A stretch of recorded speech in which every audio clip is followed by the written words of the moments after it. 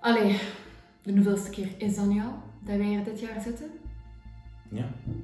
Mijn een indrukwekkend lijstje te worden, hè, zeg. Drugshandel, slagen en verwondingen, smaad, carjacking, interfamiliaal geweld. En nu dus nog die laatste Ferrero Rocher gepakt en gewoon zonder verpinking opgesmikkeld. Heb jij enig idee hoe diep dat jij in de shit zit deze keer? Pas op. Ik heb je dossier al een keer gelezen en eh, ik snap het wel, hè. Vader nooit gekend of je mama, hè. Foute vrienden leren kennen, een keer een pilletje dealen links of rechts, waarom niet? Sigaret.